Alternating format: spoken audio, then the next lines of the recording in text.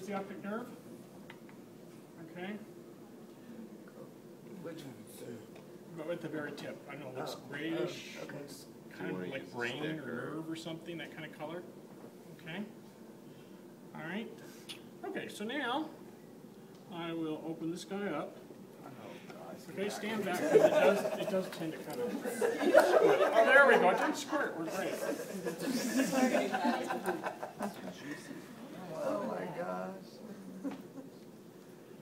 Yeah, sometimes it like squirts out all over you.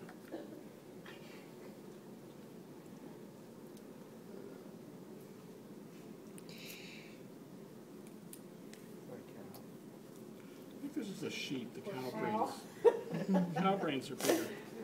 Cow eyes are bigger. Cow brains are bigger. Okay, so, okay, so you notice a lot of liquid came out there?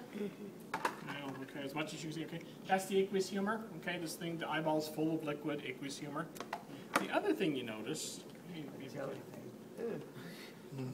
that's the vitreous humor, okay, that jelly-like stuff in the back. Okay, there should be more, but, you know, this is as much as is here. Um, the other thing that's here, attached to it, is that's the lens. Okay, again, like the cornea in life, it was completely transparent. Now it's been sitting in fixative for a year. Okay, so it's attached to the vitreous humor. All right, now, so we look in here.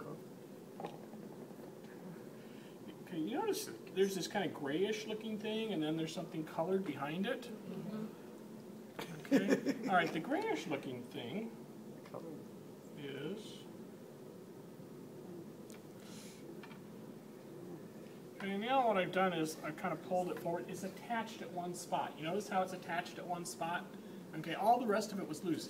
That spot where it's attached is the blind spot, and it's the other side of the optic nerve. Okay, so you look over here and there's the optic nerve. All right? It's on the other side of this. That's what that attachment is. So this little scrunchy looking thing is the retina. It turns out the retina actually does become detached. It's not, it's not really all that well uh, attached inside the eye, except right there at the optic disc. And then the other thing, two things you notice. One is you notice that black, black background? Okay, so that's the choroid coat.